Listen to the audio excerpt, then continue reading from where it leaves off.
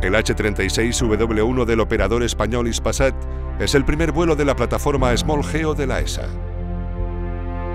Su procesador regenerativo de a bordo, RedSat, y la antena de radiación directa pueden proporcionar servicios de última generación en Internet a cuatro diferentes zonas y simultáneamente. Ispasat 36W1 tiene coberturas en Europa, las Islas Canarias y Sudamérica. RedSat también puede actualizar los datos recibidos para mejorar la calidad y la velocidad de la señal.